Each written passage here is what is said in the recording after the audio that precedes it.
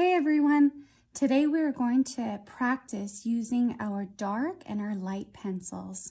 And so as you can see here, we've got a simple picture. We've got a, a little squash. We were learning a lot about uh, seeds a couple weeks ago, planting seeds, pumpkin seeds, and it's harvest time.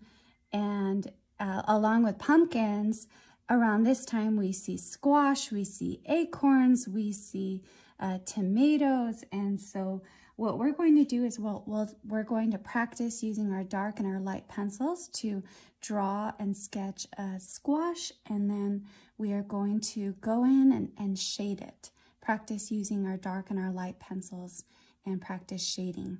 Okay, so what you're going to do is you're going to start off with your with uh, making a line straight across your paper that divides your foreground from your background.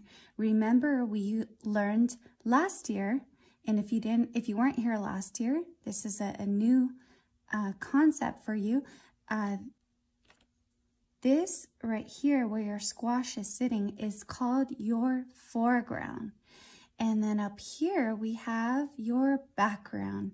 And so your foreground looks different than your background, right? I used a technique here. Does anyone remember what technique I used? Cross-hatching, right? And then up here, what kinds of lines did we use? Straight lines, right?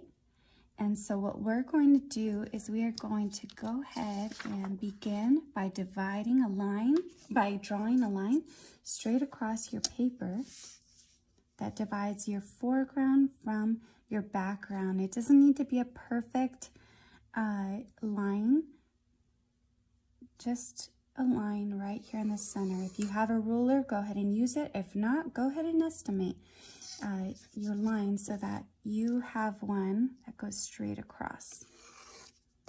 All right. So now that we've got our foreground and our background, what I want you to do is sketch your squash. So if you look here, what shape do you see in your squash? We see like an oval, right? And so what you're going to do is take your pencil and you're going to sketch an oval here. Now it's not going to be perfect. Remember, that's why we're using our light pencil. I'm just going to sketch it here. Go up.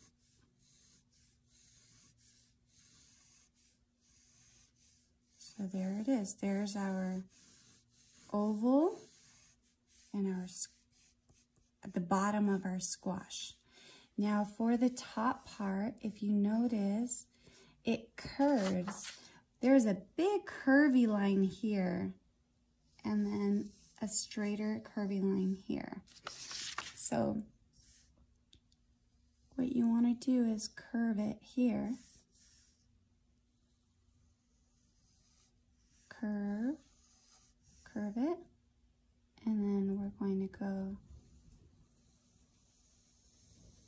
here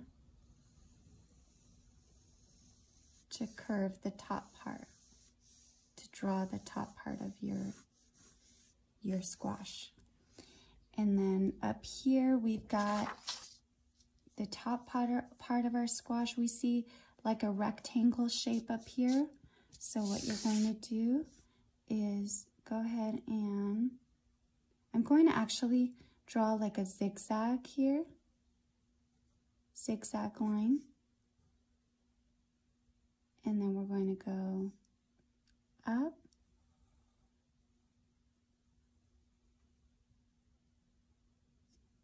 for the top part. Okay. Now this is just a sketch. There's the shape of our squash. Now what we're going to do is we're going to go back and define our picture. So if you like that line, if you like your lines, you're going to go over them and almost like finalize them. you go over them like this.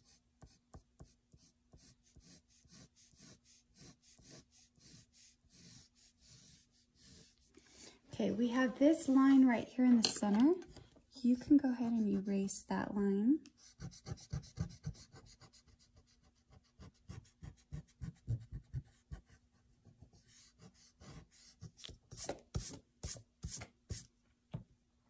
Okay, and now you are going to go back and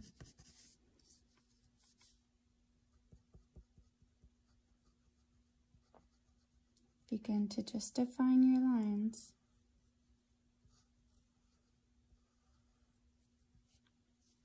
Okay. What you're going to do down here is you're going to begin to sketch curvy lines. So not straight lines, you're going to go curvy lines and you're going to go in the direction of the squash lines, right? So here they're going to still be light. And you're going to draw curvy lines on this side.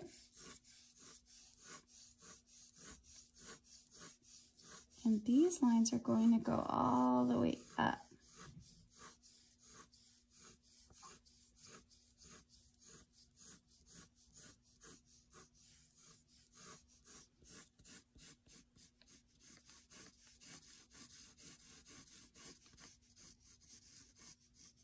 We're still picking up our pencil.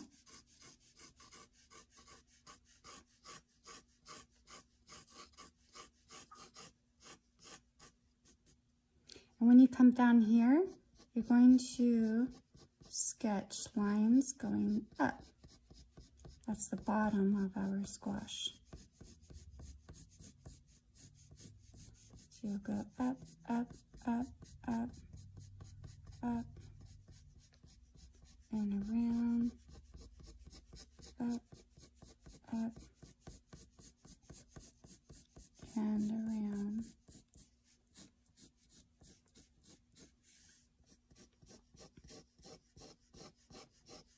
Okay, going up, continuing to go up. And when you come up here, you're going to curve lines that go this way.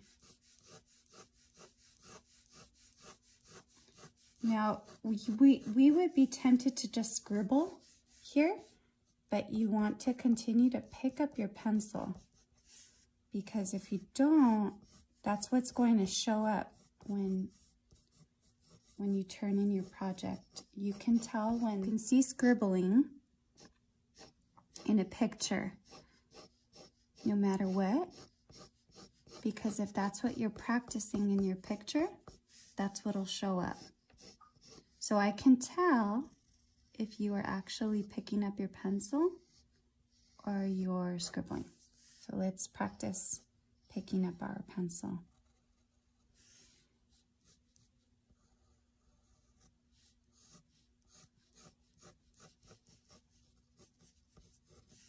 Okay, you're going to come down here, follow those lines, follow those lines.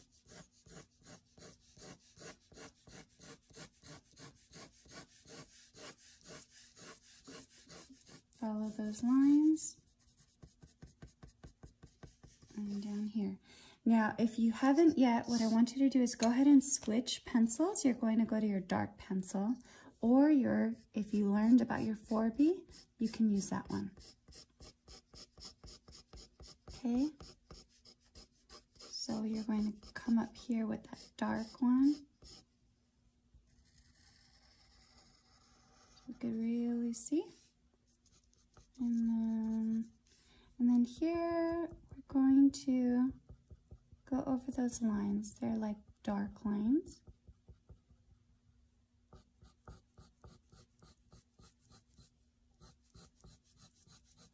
We'll go around here.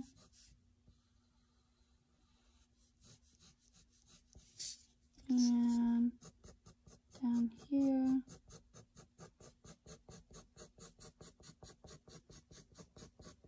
We'll pick it up. pick it up, pick it up.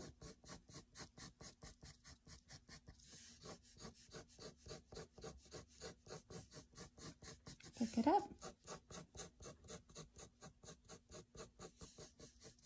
Pick it up. Okay, now here, what we're going to do is we're going to draw, sketch curvy lines again. See how they go down.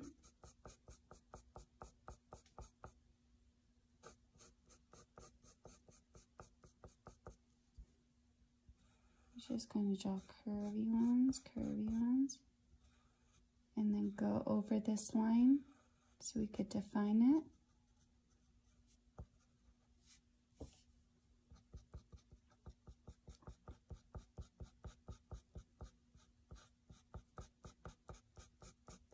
Curvy and, and then dark.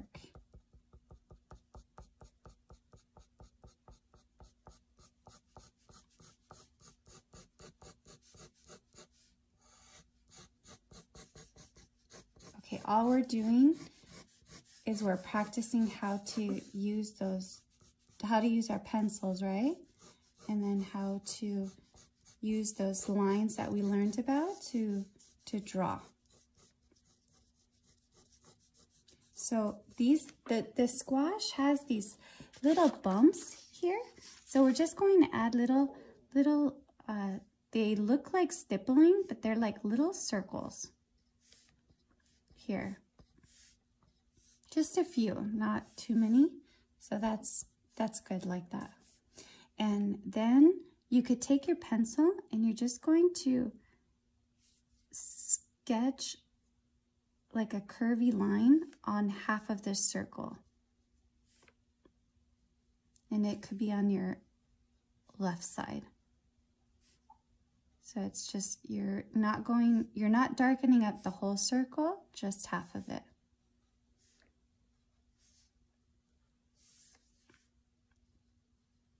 Okay. Now we're going to work on the bottom. And the bottom, you could, or the foreground, you could choose to use uh, curvy lines, you could choose to use straight lines, you could choose to use stippling, you could choose to use cross-hatching. What I'm going to do is I'm going to use cross-hatching since that's what I did in the example. And I'm just going to draw cross-hatching lines all the way around. And they're pretty large right? So they're going to go all the way around, around here, around here,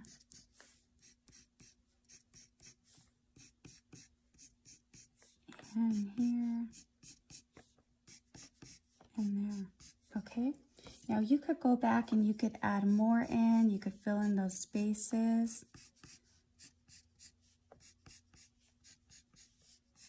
So that you could really see it, a big difference between the foreground and the background. Okay? So then you could start to go over, for example, this part should be dark. So you could just go over those areas that you want to darken up.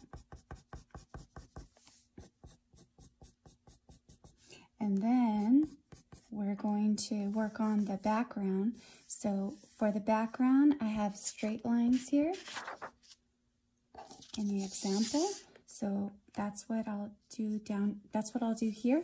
And I'm going to actually switch pencils because these lines are light. So I'm going to make them very, very light.